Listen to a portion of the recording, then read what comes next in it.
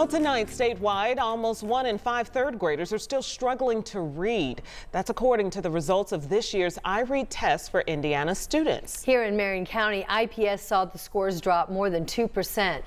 But most Marion County school districts say they saw an increase in their scores. Tonight, Karen Campbell is in studio tonight to share how other districts are faring. These are really important numbers, aren't they, Karen? Yeah, they are, especially for the third graders who mm -hmm. live in mm-hmm. Indiana. So we know the biggest increase was in Warren Township, and that was an increase of 5%. Now, the worst was in Speedway. Those scores fell by nearly 4%. Now, I spoke with one school leader at Circle City Prep who shares how third graders there managed to excel. So close. Pencils and homes. Students at Circle City Prep. Skylar, what was the message that you took from this uh, artwork? Are taking learning to new heights. If we can get a 20% increase in one academic year, then I know that using science and reading research, other schools can do that as well because our kids deserve it. Sammy Hyde is the assistant school leader of academics of Circle City Prep. What makes you say it's beautiful? A K through 7 charter school on the far east side of Indianapolis.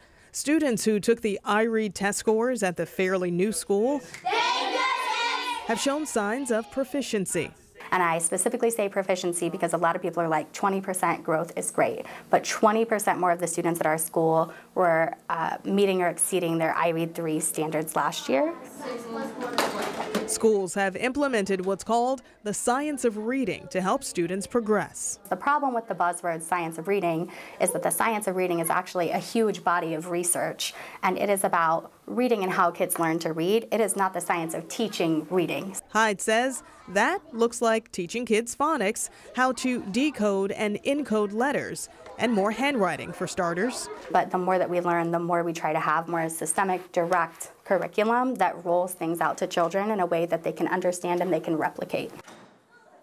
And Hyde also says the state of Indiana has allowed the school to administer the IREAD tests, get this, to second graders. So just another uh, step there that that school has taken to help kids become more proficient. Certainly. Yeah. I mean, we all know the importance of early education. Yeah, Starts definitely. way before third grade. Mm -hmm. Thank you, Karen. Welcome.